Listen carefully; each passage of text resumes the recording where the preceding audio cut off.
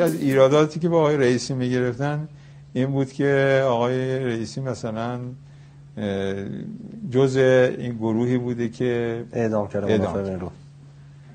خب آقای رئیسی رو باید جایزه داد. اول آقای رئیسی که از خونه صبح بودن نشده بیاد بیرون حکم صادر بکنه علیه منافقین.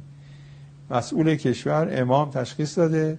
ایشونو حکم داده و مسئول یکی از مسئولین این کار قرار مردم باید تشکر بکنن از آقای رئیسی نه انتقاد بکنن.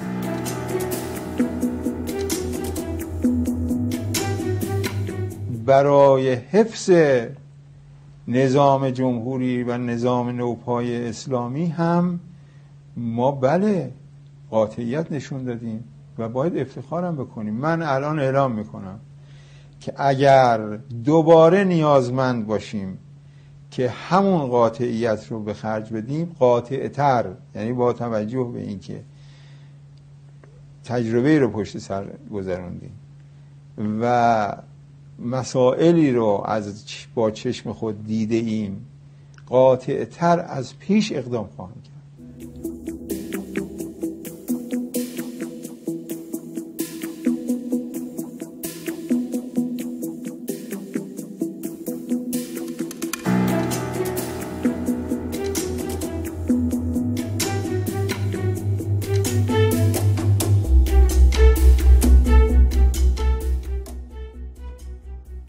Also the U.S. government needs to uh, designate the Ministry of Intelligence as a foreign terrorist organization, the same way they did with the IRGC, because they are heavily, as I try to show you today, heavily involved in terrorism. They are actually the lead organization in conducting terrorism. So if you want to fight terror, you designate the MIS as a foreign terrorist organization, period.